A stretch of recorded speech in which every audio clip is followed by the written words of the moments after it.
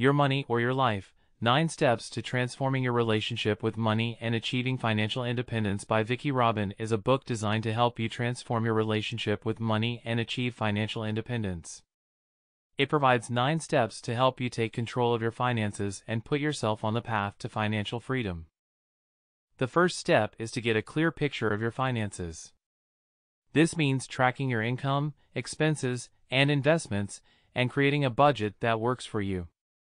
The second step is to get to the root of your financial life, what really matters to you. Once you know what matters to you, you can make decisions based on those values.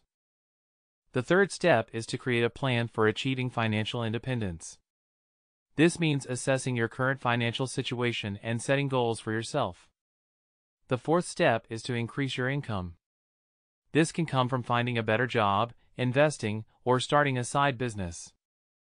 The fifth step is to reduce your expenses.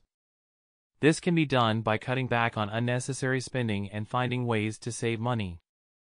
The sixth step is to invest your money wisely. This means understanding the different types of investments and finding the right ones for you. The seventh step is to protect yourself and your family. This means having insurance and a will in place. The eighth step is to give back. This means giving money to those in need and contributing to society. The ninth step is to live a fulfilling life. This means taking time to appreciate what you have and finding joy in the small things. That's it. Thank you so much for tuning in.